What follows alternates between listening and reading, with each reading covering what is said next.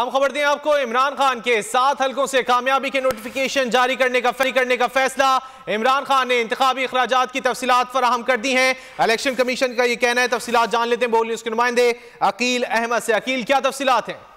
जी देखें, बिल्कुल इमरान खान की जानब से जो कौमी असम्बली के सात हलकों में कामयाबी हासिल की गई थी तो उस पर इंतबी अखराज की तफसीत जमा कराने पर इलेक्शन कमीशन की जानब से कार्रवाई शुरू की गई थी, जिस पर आज इलेक्शन कमीशन की जानब से महफूज फैसला सुना दिया गया है और इलेक्शन कमीशन की जानब से जो इमरान खान के कामयाबी के नोटिफिकेशन है, वो जारी करने का फैसला किया गया है। इलेक्शन कमीशन की जानब से फौरी तौर पर इमरान खान की जो सात हल्कों से कामयाबी के नोटिफिकेशन है, वो जारी कर दिए गए हैं। इस हवाले से जो इब्तदाई फैसला इलेक्शन कमीशन की जानब से सुनाया गया है, उसमें यह कहा गया है कि इमरान खान की जानब से जो सात हल्के हैं, उन पर तो इंतबी अखराज की तफसीत जमा करा दी गई हैं। इस हवाले से पी टी आई की जानब से ये दरख्वास्त की गई थी कि जो ये अखराज की तफसीत जमा कराने में ताखिर हुई है। इलेक्शन कमीशन इसको जो है वो इससे सरफे नज़र करे और इमरान खान की कामयाबी के नोटिफिकेशन जारी करे, जिसके बाद अब इलेक्शन कमीशन की जानब से जो इमरान खान की दरख्वास्त है, वो मंजूर कर ली गई है और सातों हल्कों से इमरान खान की जो कामयाबी के नोटिफिकेशन है, वो फौरी तौर पर जारी करने का हुक्म दिया गया है। इस हवाले से जो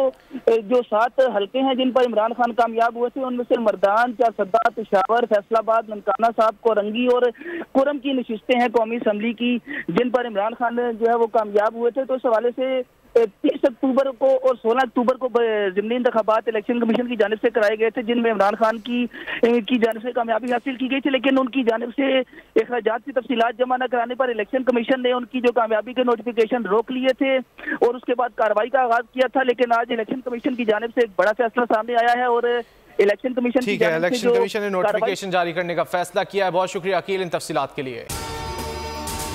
अगर आपको ये वीडियो पसंद आए तो लाइक पर क्लिक करें।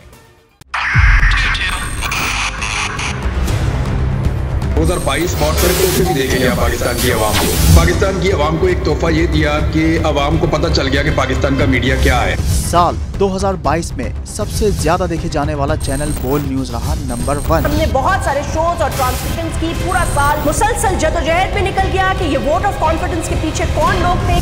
तोड़े रेटिंग के सभी रिकॉर्ड सोशल मीडिया पर भी सबसे ज़्यादा तेज़ी से 2.4 बिलियन व्यूज़ का संगे मील अबूर किया। एंकर्स को भी आवाम में सबसे ज़्यादा मकबूलियत मिली और सोशल मीडिया पर भी बोल रहा सब पर भारी। सब्सक्राइब करें और बेल दबाएँ ताकि कोई खबर रह न जाए।